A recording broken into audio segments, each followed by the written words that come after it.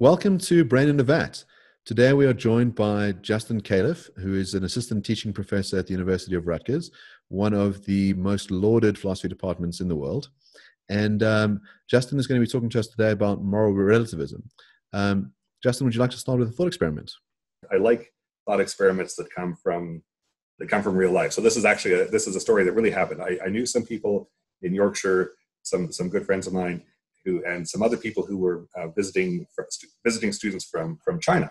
Well, one evening, the Chinese students invited over these these two uh, Yorkshire students for a home cooked Chinese meal, and the the two students from Yorkshire went over and they were served a delicious meal which they ate, and it was so delicious they ate everything on their plate. And in fact, in Yorkshire, at least maybe all of England, I don't know, but the, the rule is that you should not leave anything left on your uh, you shouldn't leave anything on your plate. It would be a sign to your host that you didn't uh, that you didn't like the food you enough to eat it all. So they ate everything, and they thought that was the whole meal. But then their Chinese hosts went into the kitchen and started making up more food and bringing that out. So and this went on for some time. They kept eating all the food on their plate, and they thought this is delicious food. But is there is this going to go on uh, forever? And at a certain point, they just had to say that they couldn't eat any more food, and it was a bit uncomfortable on both sides.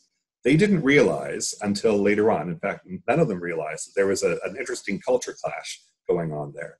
That it turns out that in, in China, they have exactly the opposite rules. In China, if you if you if you're a guest at, at someone's home, you show that the person has taken care of you hospitably by not eating everything on the plate. You leave a bit left over as if to say, you've, you've served me so, so well, so generously that I can't even eat everything you've, you've offered me.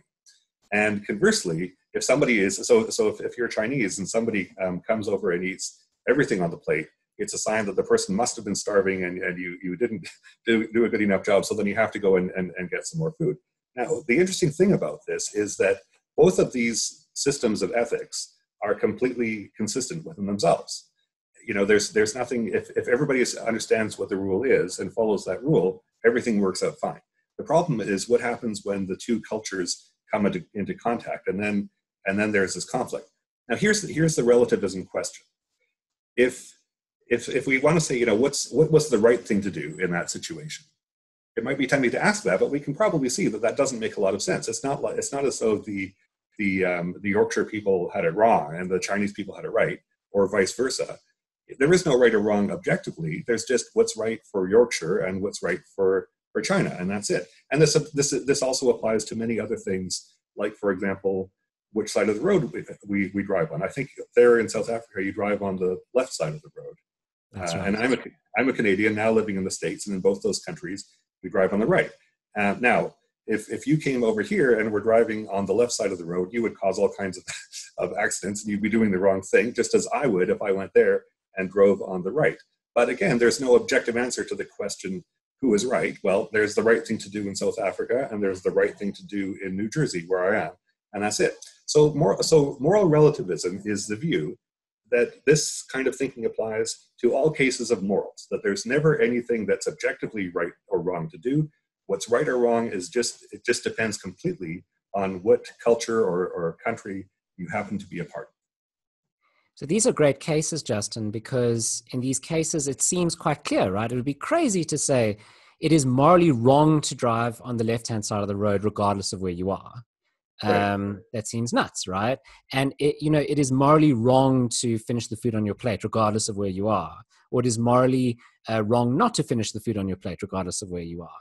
And, and if you extend this to everyday cases, if you think that this is the perfect prototype, well, then you would reach the conclusion that we should have moral relativism throughout our society, throughout all our rules, throughout everything we do, without, throughout any judgments. We purely look at the cultural norms. We ask the question, does my act fit these cultural norms? If the answer is yes, well, then it's morally fine. If the answer is no, well, then it's not morally fine. And I think this idea of, of cultural relativism or moral relativism is very appealing to a lot of people. Um, and we can see it starting to come out in some of, of the political issues taking place today in America.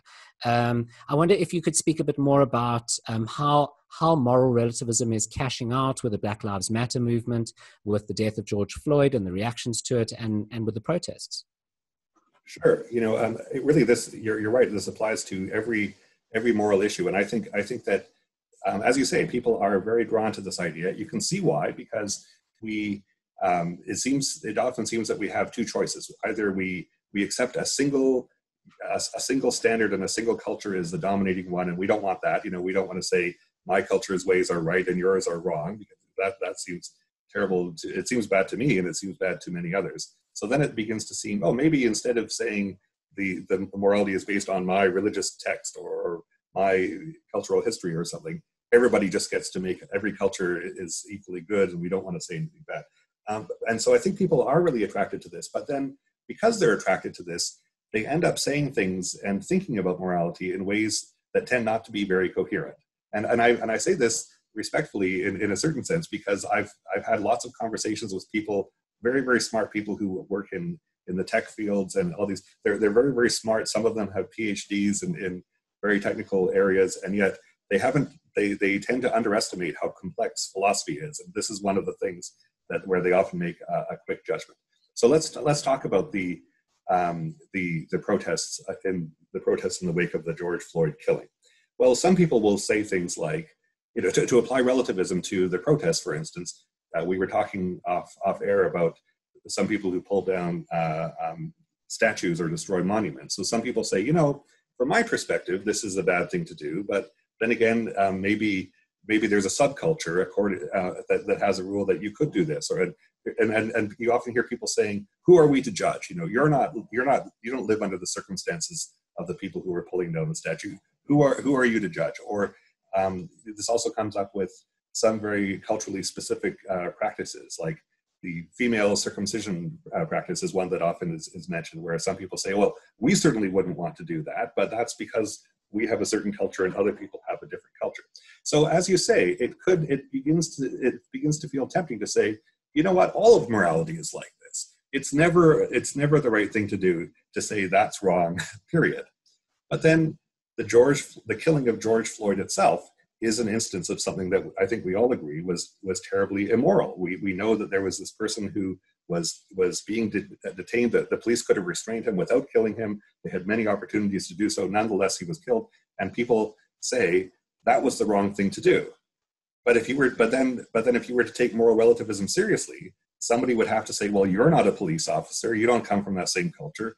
Who are you to judge?" And then we wouldn't be able to make any judgments about anything, and morality wouldn't really get off the ground at all. Or it would get off the ground, and you would just have some people saying, "You know, my culture says that's wrong, so we say it's wrong. Your culture says it's right." And then there's there's no way to resolve the conflict because you can't have a moral conversation. So anyway, that's that's how I would apply it. Yeah, so you raise something intuitively appealing about relativism, which is this idea that you know people I think like this notion that we don't judge, um, that we withhold judgment, that we sort of say, well, there's certain norms and we don't understand why you do that, but you have a rich heritage, and so there's one way of cashing out relativism, which is this idea that, well, if culture A believes X to be wrong, uh, then it is wrong for culture A. Um, and if culture B believes that X to be right, well, then it is right for culture B. Um, so you can have this contradiction and it's all relative to the particular culture that believes it. And then there's this addition of, but it is always wrong for culture A to pass judgment on culture B. And that judgment itself is non relative, it is an absolute judgment. And so we see this internal contradiction straight away where we say, well, hold on, what if culture A believes that it is perfectly right to pass judgments on uh, culture B? That that's part of their cultural norm. We see right. that you know the system cannot cannot sustain itself. Um, I, I think you also raised something interesting, which is that maybe I mean, imagine that the defense of the police force was to say, "Listen, we have a strong cultural belief, which is that." Um, when we apprehend someone, choking the life out of them is what we believe to be right. Um, we don't believe that we need to restrain ourselves um, in action, and that actually we, we believe that the more innocent civilians that we kill, the better. That is our cultural belief. It would strike us as a, an utterly abhorrent response, um, and that there's something sort of unsustainable about saying, well, just because this is our culture, therefore it's right. Um, so there's some sense of trying to work out how do we deal with these clashes? Um, how do we reconcile maybe some of the um, uh, things that seem appealing about culturalism, this idea of non-judgment or a non kind of Western imperialism, where we say, well, maybe we're wrong. You know, maybe uh, as Westerners we we don't believe the right things, and you know, we should let other people do their stuff, um, while at the same time being able to pass some judgments that are morally absolute. Right. Yeah, and and people, and if if somebody in response to that, if, if somebody said, well, the, you know, we we members of the police community, if they were to say, we think that that killing civilians um, should be done as as much as possible, we don't just want to say in response to that, well, that's your belief and it goes against our beliefs. We want to say your beliefs are wrong. Period. And you know, I, I think I think it's really important important that we have to say that. Another response somebody might give is to to to to, to me and and to you would be, well, you know, being a police officer is not part of is not doesn't count as being a culture. But this this raises some very interesting questions about what a culture is. And, and I think that when people think about relativism, and the first people to discuss relativism, uh, they, they, were they were writing at a time when there really were some cultures that were completely sealed off from sealed off from other cultures. You know, an island culture in the middle of, of, of the ocean that hadn't had any contact with with anyone else. But in, in, this day and age, it's very hard, I think, to draw some cultural lines. So, you know, if people people within your own nation belong to different cultures, but do they belong exactly to the same culture? What if they, they might have an ethnic uh, herit, something ethnically in common with these people, racially in common with, I mean, culturally versus racially, and then they might have a religious commonality with some other people, and do they have a language in common? It, it gets to be very, very tricky, and and um, and a lot of people do talk meaningfully about subcultures. So I think trying to get away from it by just trying to specify what cultures are doesn't solve any of the problems either. It seems that what we need is the ability to say at certain points, you know, yeah, this is this kind of thing is wrong, period. And a lot of people are very uncomfortable with. So I wonder whether there's not a way out for the cultural relativist. I mean, you know, it's a philosophy show when you're adopting positions you don't want to adopt, right? Mm-hmm. Just for the sake of argument. Okay, so so th- there's a there's a philosopher. I think his name is James Rachels, um, and and Rachels gives this response.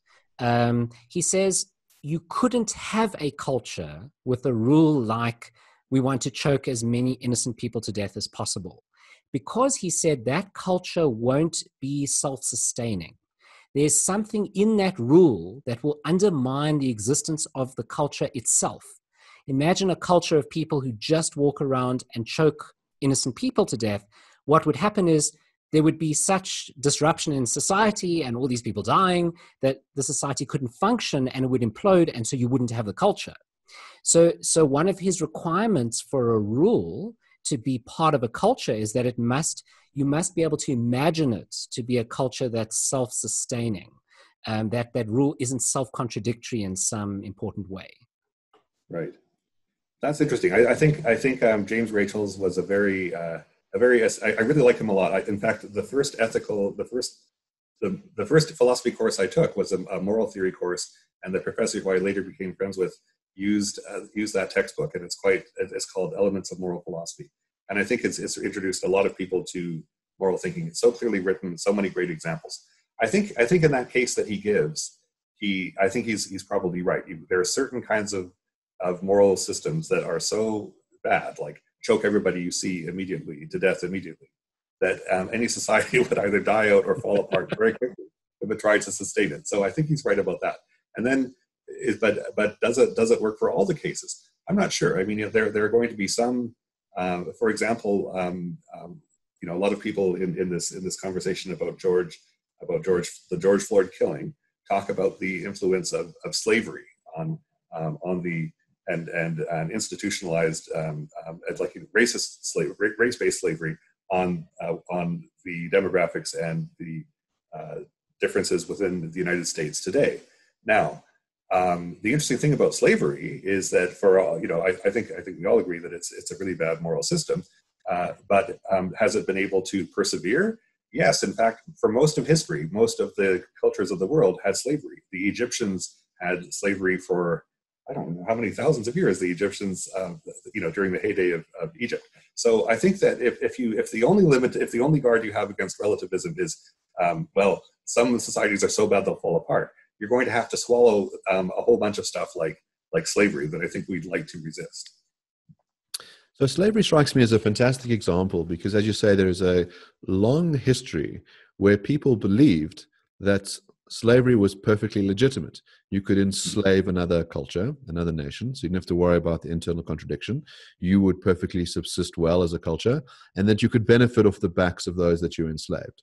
And uh, the view is then, well, when everyone believed that it was right to enslave, um, you know, the others, it was right. The relativist has to say it was actually right. And then when there was a change in belief, so for example, in America, where there was a move towards abolitionism, those abolitionists were initially wrong in believing that slavery was abhorrent because they held a minority view. The cultural norm was that slavery is perfectly legitimate until they got a sufficient amount of people to support them, in which case the culture changed. And then people believed that slavery was wrong. Um, and then it became wrong in virtue of the belief. Um, and if you continue to practice slavery, then you were doing something wrong. There's a, something troubling about this in the sense that we move from, you know, the abolition of slavery while without being able to say that there was any moral progress because it was perfectly right to enslave people when people believed it was right, and then it was perfectly wrong to enslave people when, when people believed it was wrong. Um, but there isn't a sense of we have bettered ourselves because all we did was change our belief states. Uh, right, right, exactly, and and it's so that, yeah, that's another another way to try to get it to get around it is to say, well, our culture doesn't have um, doesn't have slavery because people worked towards it, but the people who were the abolitionists who, when they were a minority, were working towards the abolition of slavery. They only did that because they um, they had the belief, which we say is a correct belief, that, that they were in the right. But according to relativism, they were actually in the wrong. And and according to relativism, back in back in the slavery days, people like Harriet Tubman, who's now being celebrated um, uh, in various uh, new ways in, in, the United States. She, she took many uh, slaves from the American South and uh, brought them to, to freedom. She was actually acting immorally, according to moral relativism, because at the time slavery was was permitted, and the stealing of slaves or the freeing of slaves um, against the wishes of the of the owners uh, was was not permitted. So yeah, that, so that, that that leads us to some very strange things. Also, suppose it happens, and I hope that this never happens, but if suppose it happens that slavery comes back, now all of a sudden, as soon, as soon as slavery becomes morally accepted again, it will become it will become morally permissible, and it will be morally wrong to oppose it. So, so then that I think that really that, that example illustrates very well how relativism leaves leaves morality and all our strongest moral convictions at the whim of of history.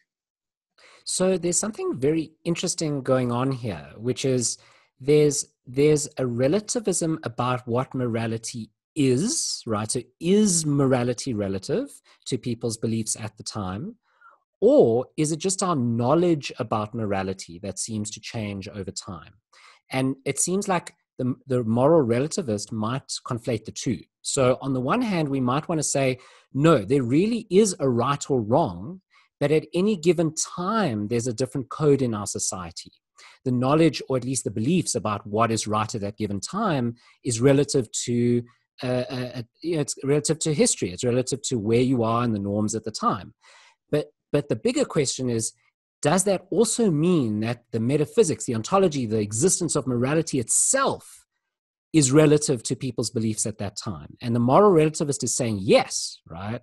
But it seems like when you give these examples like slavery, it seems like the the the the objective or at least the metaphysics of morality and the epistemology knowing about morality seem to come apart and that's the problem that a, a lot of moral relativists have is they say but hold on when you say it's wrong they'll they'll ask this question wrong according to whom right so they're trying to introduce the epistemics the knowledge about morality as being the primary source of what morality is, rather than the metaphysics of reality being independent of our knowledge of it. Hmm. Yeah, yeah, that, that that that seems right. And and so and by asking wrong according to whom, they keep they, they're they're they're already presuming the truth of of, of relativism. That the only way that something could be right or wrong is if it's right or wrong according to to somebody. Now, interestingly, uh, you know, there um, the, the big discussions about slavery being wrong altogether, just to take slavery, those big those big discussions, um, I think they they began um, in England and also in the United States in the latter part of the um, of the 18th century. There was uh, Wilberforce and uh, and Paine in, in, in, the, in the UK and the US I think we're having these conversations. Before that, I don't, as far as I know, there weren't any people who were who really tried to argue that slavery, or the, uh, on a large scale, that slavery needed to be entirely abolished. You know, it was it would have, it would be a bad thing to become a slave, and there might be some good things about releasing slaves, but there wasn't this view that slavery was wrong altogether.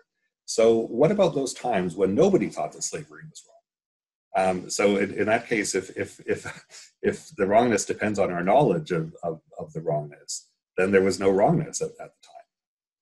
What if you take what if you take a long term view? I'm trying desperately on behalf of the cultural sure. relativist here, but what if you take a long term view and you say, okay, morality is relative to our beliefs, but it's our ultimate beliefs that matter, not our beliefs along the way. Along the way, we meander. Our beliefs change backwards and forwards along the way. But in the end, we come to the right beliefs. And morality is relative to those beliefs at the end of the day. And, and progressives will say, we've come to those beliefs now, right?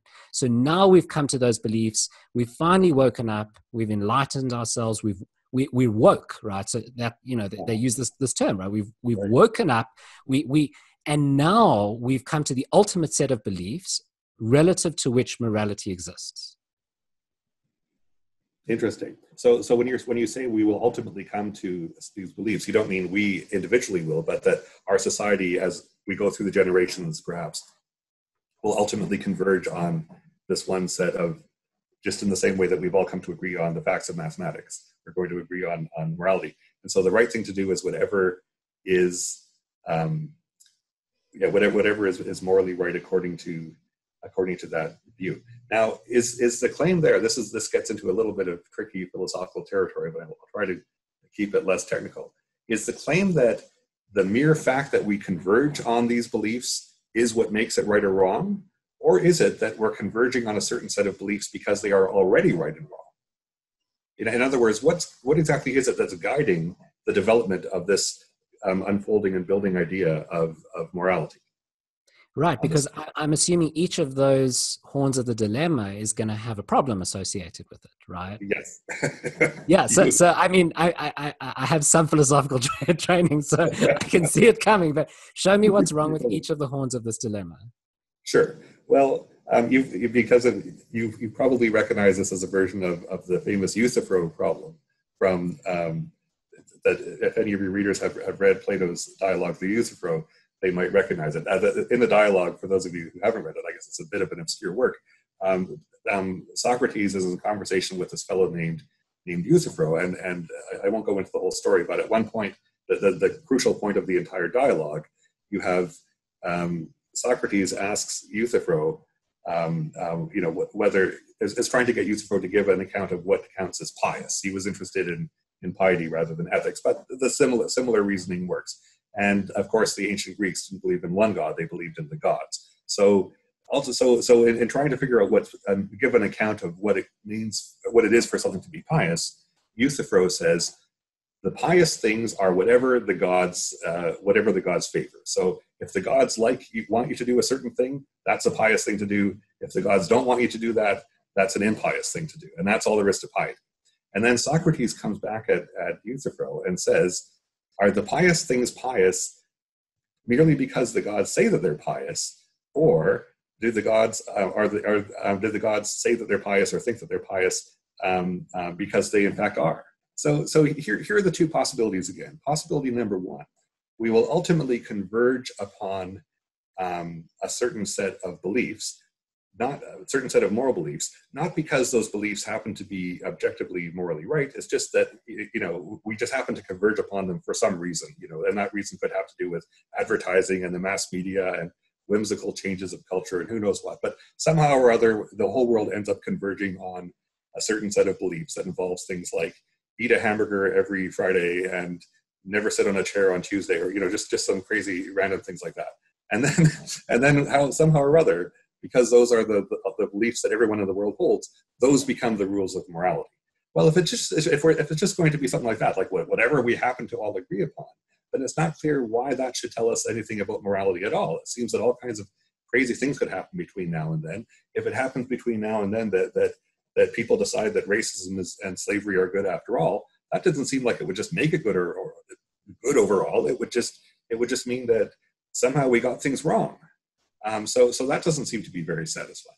The other possibility is to say, well, no, it's not. We're not talking here about a random process of, of all kinds of crazy stuff um, happening, and then somehow we we converge on moral beliefs.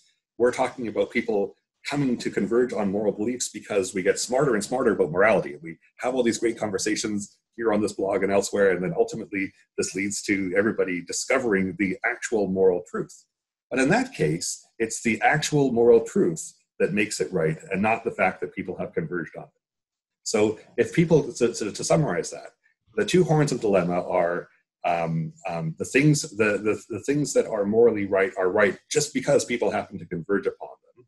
And in that case there's no reason uh, behind those things so that doesn't seem to give us morality.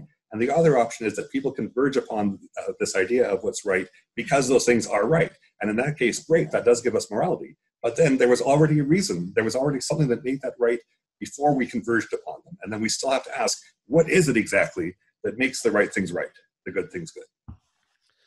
So, one way of cashing this out is that we can accept something like descriptive relativism to be true, which is the claim that different cultures believe different things to be true. Now, we know, for example, that people used to believe that the earth was flat, um, and then they changed their minds and believed that the earth was a geoid. Um, now, the difference in belief, you know, descriptive, we can say people believe different things. It doesn't make them both true. It didn't mean that the nature of reality changed given the beliefs. You know, we just were mistaken um, before when we believed the earth was flat. Um, now, so we might think a similar thing about morality that when some people disagree about morality, they're just mistaken. Um, that just because we disagree doesn't make make us both right. You know, it's not about our belief states; it's about something external. But here's the difficulty. Throughout this conversation, we've made this assumption that there is a true absolute morality. Um, and so, if you take relativism seriously, they might say, well, how do you get there? what are your what are your norms how do you explain where this morality comes from you know there's no book in the sky there's no you know absolute thing that i can touch. There's no scientific method i can use to sort of discover this morality. All we have are these cultural norms you know? And so if you want to work out what the law is in a particular country there's no divine method to kind of get there. You look at the statute books. So if you want to work out what's moral you look at the cultural norms. Um, that's all there is. There's nothing underlying it.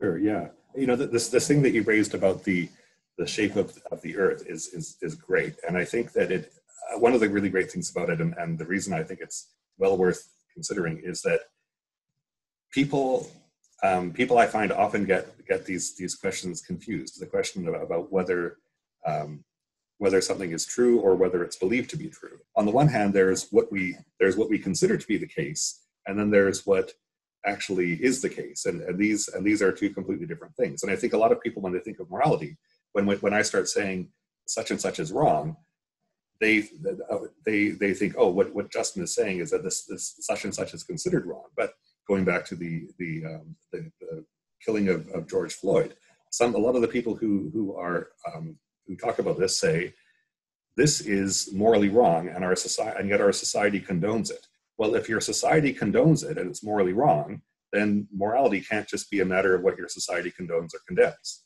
Um, and and so so I think I think already you can see some of the some of the difficulty right there. Uh, anyway, you you wanted to go beyond that, and you were asking me about what.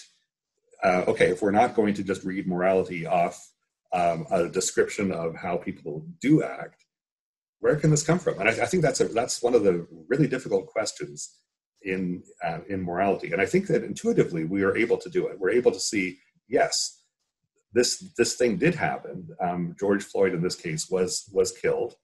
And it was um, some people say it was morally condoned or take other things like the killing of the jews in the in the nazi holocaust or, or what have you. These things were socially condoned and yet they're wrong. And there were people you know in, in nazi germany at the time who said my society condones the killing of the jews and yet it's wrong.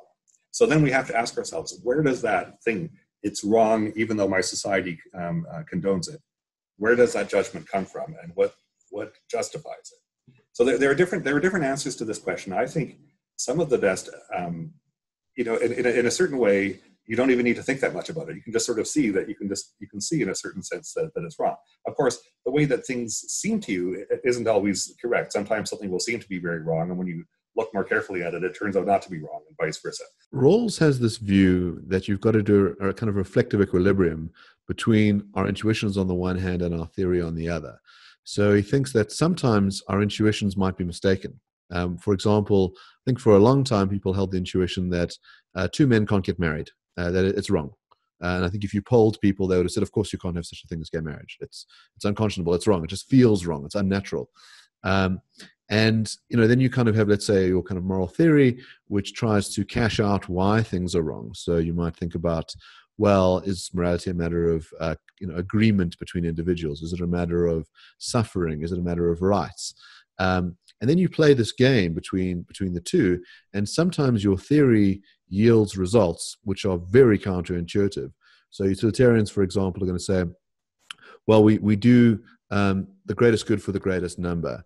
And occasionally that's going to mean that we have to sacrifice some people along the way, that there, there's no ultimate moral limit. Um, you know, if we have to, um, you know, kill a newborn baby to kind of come up with some cure for COVID, well, that's what we do. And other people might say, well, that's so counterintuitive. There must be a problem with the theory. Uh, and on the other hand, we might say, well, maybe our intuitions are wrong and maybe we need to accept this theory. I, I, I think there's something to be said for this approach of trying to do the balancing act. But the concern is one of, you know, the utilitarian just says, so what about your moral intuitions? You know, um, you know, how are you getting to these things? You know, philosophers typically are sitting in their armchairs with their cognac and saying, well, intuitively, I feel that this is the right thing or the wrong thing. You know, and then you have some experimental philosophers are going out and saying, well, let's go and ask a couple of uh, weird students on campus and see what they think about this. Um, and intuitionism might start to look like you know a little too close to relativism in some sense which is you just ask people do you think this is right or wrong? and they tell you how they feel about it in the moment. Um, what's the kind of deep uh, core about the intuition itself? Why should we value it at all? We, we generate these intuitions pretty readily but once we have the intuitions we have to weigh them up against um, against opposing in, uh, against uh, other intuitions and look around things more carefully hear what other people have to say and sometimes through this process we end up changing our minds and thinking that yeah well this this initial intuition was a pretty strong intuition and yet it was it it uh, it tricked us. It, it, it made us uh, think the wrong thing. I wonder whether there's not some interesting appeal to the objectivist right? So the objectivist says the objectivist says that morality is objective. It's not relative to some um, to to somebody's belief um, or some set of beliefs some culture's belief at a certain time or even at some ultimate time. Um, things are objectively right or wrong and and the reason we started this whole discussion is we said well there's difficult cases for the objectivist right? So um, the case really that seems to be problematic is um, idiosyncratic cultural beliefs and judging of those cultures right, right. so um, and, and it seems like the objectivist struggles to get around those problems but here's one way that he might right? So right at the beginning of this discussion you said you wouldn't you feel it's not actually that great to judge another culture. Um, there might be instances where you do but but it, but on the whole, it's it's generally something we shouldn't do too much of unless it's really necessary. And I wonder whether there's a way to cash that out for the objectivist. And here's one way to do it is to say, well, morality is very complicated. There is an objective right or wrong in every case, but it's very complicated or difficult to get there you know, we might have to apply quite a sophisticated type of utilitarianism, um, which is the view that an action's right just in case it maximizes utility for society as a whole. And it might be quite hard to work out what that is, what the most utility is, which action it's associated with in any given circumstance. Or if you're a Kantian, it might be that um, you need to uh, respect the dignity of everyone involved, but you really need to do a really long think about how everyone's dignity in the situation is weighed up and and how is their not weighed up but how is their dignity fully uh, respected. Um, and so and so because morality even if it's objective is still very complicated we shouldn't jump to judgments right about other cultures because we might not have engaged in that that process of thinking through the problem long enough that we're in a position to do so it seems to me that, that a lot of us and a lot of people in general, we, we feel very confident about our ability to make to pass moral judgments. We don't we don't often have the patience, or many people don't have the patience to think things through carefully. And I, I always feel it's one of my jobs uh, as a uh, as a teacher of philosophy to try to get people to just be curious enough to stop and think and, and not be sure. And it seems at first, uh, so it, it, seems that a lot of people go through the following stages. First of all, they start thinking about about morality, and, and typically they've been taught by their parents or by the schools of a certain moral view, whether it's a Christian moral view or a progressivist worldview or whatever it is, and they think this they've got all the answers. And then they start to see that other cultures have very different answers to certain questions. And so as soon as they think they've got all the, when, when they think they've got all the answers, they don't really think about it at all. Oh yeah, I know the answer. Well, that's stupid. I can't believe somebody thinks that. That's obviously wrong. And then they start thinking, oh, maybe, maybe, maybe um, there's something to be said for this other culture's view. And then they still don't want to think about it. They say, well, you know, there's what I think and there's what that person thinks. And whatever I think is right for me, whatever that person thinks is right for him or her. And that's the end of it. They don't think anymore. And, and it's only when you get beyond that to the point where you say that there's objective morality, where you can say, wait a second, there is not it's not just what i there's not just what i think and my and my culture thinks that i can just automatically make a judgment on the basis of. There there are some facts out there some moral facts that i don't know the answers to. And i can't just turn to my culture and say does my culture say this is right or wrong? I can't just turn to the law. I can't just turn to my school system. I have to think it through. And i might think it through incorrectly. But the you know i always imagine it like there's a there's a imagine a mountain and you know here i am and there's something on the other side of the mountain and i can't yet see what's on the maybe i'll never be able to see what's on the other side of the mountain but i have to think it through and talk with other people and reason about it. But there That's is still something on the other side of that mountain right? Exactly. Even if i don't know what it is but it's there. You don't know what it is but it's there. And and this is the view I mean, to answer Mark's question as well, this is the view I want to hold, which is that there is objective morality, even if at some point we're not too sure what it is. Right. And interestingly, if you're a relativist, you're always sure what it is in a certain sense. Because if I'm a relativist, well, what's the answer to this moral question is whatever my culture says about it. So I just need to look at what my culture says. There's the answer. Uh, there's no more poll, right? You, you, just do a poll. Once you, I do a once poll. you've done a poll, yeah. you know. Yeah. Right. Right. And so there's so there's there's no curiosity there, and and especially you know I, I was talking before about the the difficulty of outlining what a culture is, and I think some people are some people think that if you start thinking of in a, in a modern multicultural society what is your culture? It might just be you you know you might and so and then then we're in a certain kind of, of variation of relativism called subjectivism where for something to be morally right is it is for it to be approved of in my moral system. But then i can easily tell whether something's right or wrong. I just say oh that seems right to me and, and there it is. Whereas if, if as, as long as i think that there's something out there that i can't know then i have to then i have to be a bit reserved. So i think interestingly some people say I'm a moral relativist because I like to be modest in my beliefs. I don't want to over overstate how much I, I know. In fact, it's the other way around. It's people who believe in objective truth who can fully say there's something that there's it's either right or it's wrong. Here's my best guess, but I don't know if I'm right, and I should keep looking. Yeah, so there seems to be a, a, difficult virtue in that approach, which is the sense of saying this is a hard problem. This is a, a very tall mountain, and it's not going to be easy to climb it. Um, I mean, Derek Parfit, in his uh, ultimate work, um, What Does It All Mean, talks about this idea of different moral theories kind of converging through these different paths to the top of the same mountain. Um, but it's not not straightforward. And the relativist, in some way, just tosses off the hard work and they say, well, whatever the culture believes. And I don't really want to think about this too much further. And, you know, you're a cultural imperialist. There's something else that you touched on that's fascinating for me, which is this if we think about intersectionality as a movement, you know, this idea that you know you have these multiple different identities so you know you could say as a um, gay trans black south african um, I say the following. And so you've got all these multiple identities that converge. Um, and what's interesting is I think some people say, well, once you add enough identities, you really just wind up with a particular individual. In other words, saying, well, you know, once you've got all this detail, all this texture, well, then it's whatever Mark or Justin think. That's the actual sort of subjectivist account of morality. Um, but I read a piece by James Lindsay and, and Helen Pluckrose lately, where they sort of said, no, well, actually, it, it cannot be that. It's not a horseshoe which converges on individualism. Because ultimately, what it is, is that the moral view is always through the prism of the identities. It is always through the collective. There is nothing individualist about it. There is nothing sort of classically liberal about it. Um, you're always reflecting through these particular groups. So it's not that I think this, is you say, well, people who are part of this group, people who are Jewish, believe this stuff. And so I'm going to put on my Jewish hat at the moment, and I'm going to say whatever the Jewish norms are, um, that is what it is. And they may very well conflict with uh, you know uh, the gay norms or the trans norms, um, but you sort of just you know put your hats on accordingly.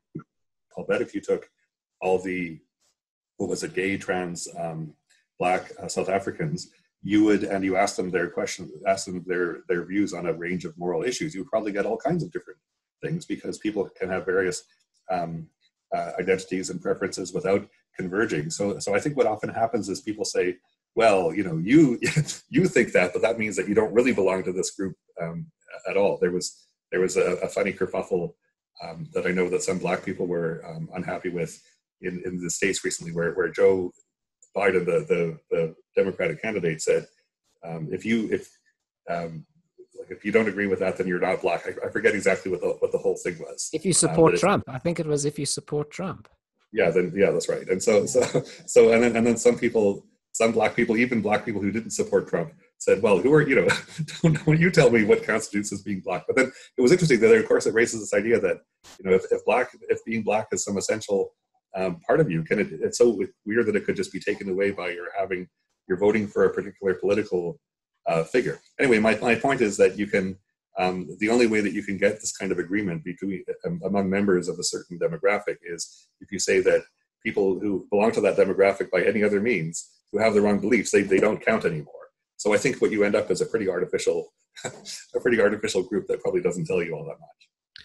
Well, you, you get into something interesting, which is you know there's this fuzzy notion of what counts as the culture or the group, um, and on some level it might have actually nothing to do with taking the poll. It might have to do with a kind of small vanguard that says, well, if you are gay, it's not just about you know having sex with people that are the same sex as you. It's about a, a sort of uh, other kind of um, a set of political beliefs. So Peter Thiel was described as not gay uh, because he was a Republican.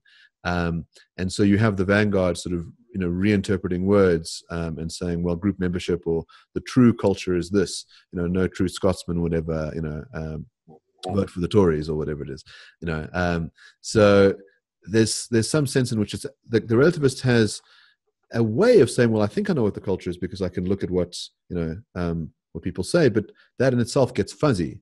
So, um, and you and you can have different vanguards vying for power as to who is really setting the norm. Um, and it it really kind of seems to devolve into a power struggle as opposed to anything more substantive. It feels like a kind of jiggery pokery when you're trying to figure out who you know who who gets to count as as as part of this group. Maybe as as you say, these are now just new terms that that apparently don't refer to the things that they seem to refer to. Like I've always thought of being gay as as being a matter of your you know what um, are you are you male or female what are your sexual preferences that's the limit to to being gay but if if now it means that you you belong to the group or don't belong to the group according to whether you're a republican I, yeah, it seems, it seems that people are at this point playing with words. Look, we're a philosophy show and we try and tolerate a bunch of things, but the claim that there are such essentials as men and women, that kind of oh. a little bit too far. If you don't mind, Justin, please, can we just can we just sort of not get us banned from YouTube? I'm so much in the dark about everything.